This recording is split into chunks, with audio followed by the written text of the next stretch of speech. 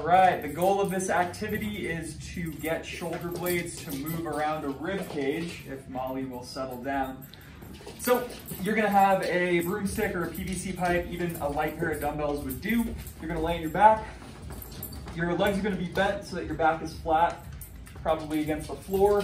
And then you're gonna take your implement and I'm going to reach not up, not down, but a combination of both. As I do that, I should feel shoulder blades run away from my neck. I'm gonna take five breaths there.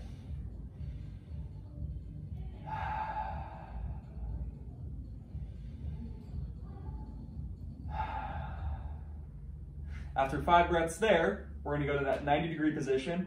I'm gonna reach out and I should feel shoulder blades wrap around my rib cage. So I'm breathing into the spot between my shoulder blades, the space I've created with that reach.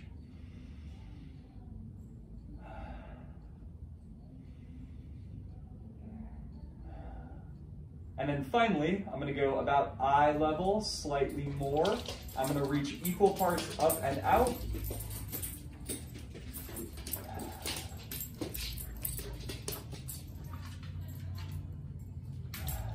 And that last position ought to get expansion at the chest and a little bit between the shoulder blades.